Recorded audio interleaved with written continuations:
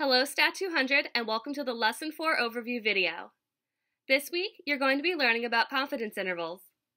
There's a lot of content this week as we'll be covering all of Chapter 3 in the Lock 5 textbook. I strongly encourage you to get a good head start this week.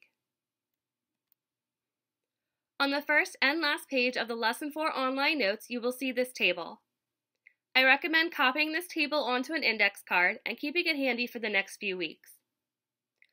All of the procedures that we're going to be learning this week will be dependent on the parameter being estimated. You will need to be able to look at a scenario or a research question this week and determine the parameter that's being estimated.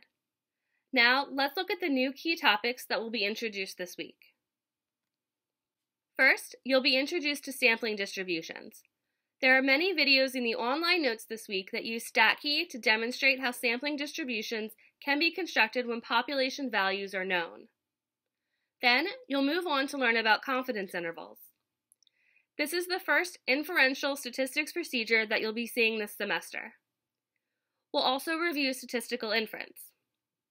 Finally, much of this week will be spent using bootstrapping methods to construct bootstrap sampling distributions and bootstrap confidence intervals. Bootstrapping methods are used when you do not have population values.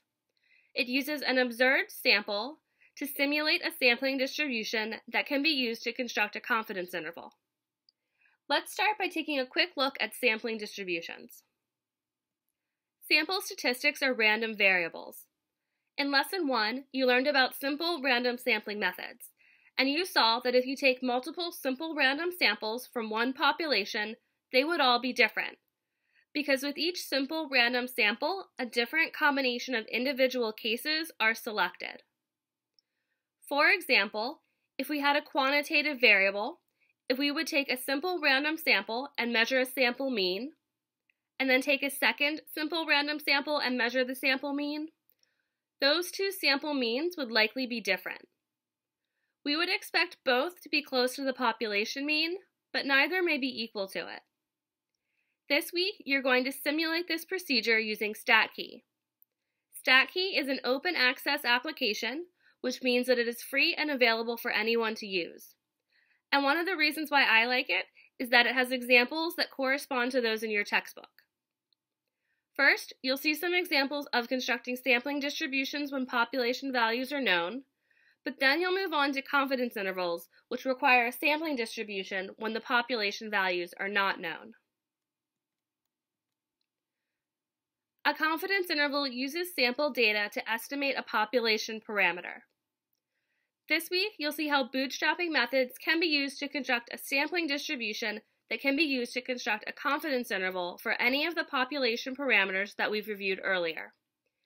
This is the first example of statistical inference that we've seen in this course. Recall from Lesson 1, we want to make a conclusion about a population but we don't have access to all of the population values.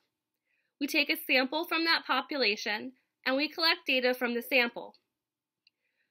We use data from a sample to make an inference about the population.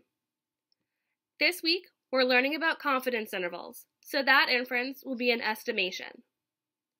Confidence intervals use data from a sample to estimate a population parameter. To construct a confidence interval, we'll need to construct a sampling distribution.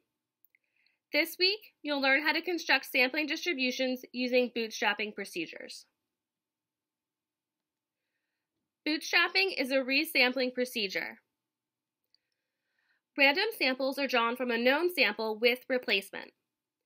With replacement means that after an observation has been selected, it is put back into the sample and may be selected again. It is possible for the same individual to be selected more than once in the same bootstrap sample. With each bootstrap sample, the statistic of interest is computed. The distribution of statistics is known as the bootstrap distribution. The bootstrap distribution may be used to construct a confidence interval. You'll primarily be using StatKey to construct bootstrap distributions and confidence intervals this week. There are quite a few examples in the online notes, there are also instructions for using Minitab Express. This concludes the Lesson 4 overview. This is one of our bigger lessons. I suggest that you break it down into smaller pieces. For example, you can use the sections in the textbook. If you have any trouble seeing how the online notes, textbook, and Wiley Plus homework align, you should post a question on the Lesson 4 discussion board in your course in Canvas. This is something that your instructor can help you with.